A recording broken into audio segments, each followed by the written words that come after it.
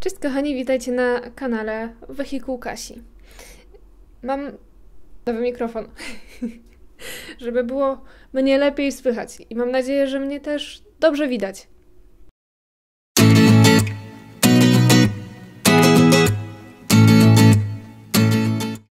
Dawno mnie tu nie było. Tu, czyli u mnie na kanale. Ale w domu jestem cały czas. Jestem, no prawie cały czas. Jest od początku kwarantanny mało wychodzę, chociaż zdarzyły mi się, zdarzyło mi się kilka fajnych wyjazdów. Między innymi wyjechałam do Gdańska na cały tydzień nad morze i to była moja pierwsza wycieczka nad morze od ładnych kilku lat. Poznałam parę fajnych kus. Naprawdę były gadatliwe. Ale to nie nad morzem, to w Małopolsce. I jeszcze byłam na jednodniowej wycieczce na Zamku Grodno.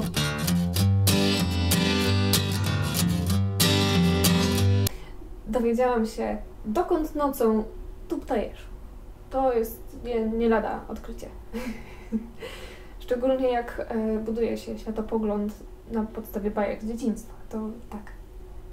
Wzięłam też udział po raz pierwszy w, ży w życiu w Inktoberze, organizowanym m.in. przez Olsikową na Instagramie. No i to było bardzo fajne, bardzo ciekawe przyjęcie.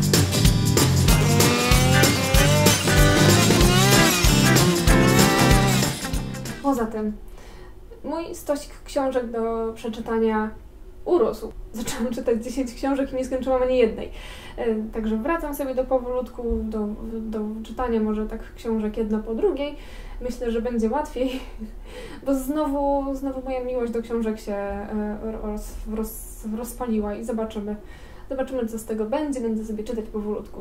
Generalnie wszystko robię ostatnio powoli i na spokojnie, dlatego że odkryłam, że pośpiech działa na mnie bardzo źle wolę mieć wszystko na spokojnie, poukładane i wtedy, kiedy musi być power, no to ten power oczywiście jest. Też podczas tego spowolnienia, tego slow life'u, tego przyglądania się sobie podczas tych kilku miesięcy odkryłam, że, że to, to nie jest jakby nowe odkrycie, to jest odkrycie na nowo tego, że moim największym problemem, który powoduje inne problemy na wielu różnych płaszczyznach, jest prokrastynacja i trochę staram się nad tym pracować.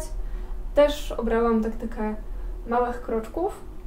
I tak, tak, ja pamiętam, że mam nagrany content jeszcze yy, do szuflady. Jeszcze tam z poprzednim, na poprzednim filmiku mówiłam o tym. Ale żeby było zabawnie, yy, w międzyczasie wzięłam udział w kursie filmowania i montażu, więc podczas tej mojej nieobecności na YouTubie nagrałam trochę kolejnego kontentu, ale już wy, wykorzystując częściowo metody y, filmowania, które poznałam i dalej się ich uczę, to, ale jestem już bardziej świadoma tego, co mogę ja, co może mój sprzęt fotograficzny, także jakaś różnica jakościowa całkiem możliwe, że będzie widoczna.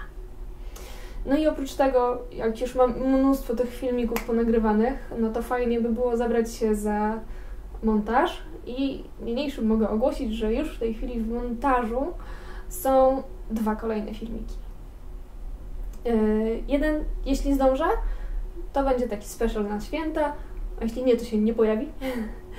A drugi to będzie filmik, albo nawet więcej filmików na temat techniki o tajemniczej nazwie Knoll Binding, e, czyli tkanie igłą. Ta metoda była wykorzystywana między innymi we wczesnym średniowieczu przez Słowian i Wikingów. Więcej o tym w jednym z kolejnych odcinków.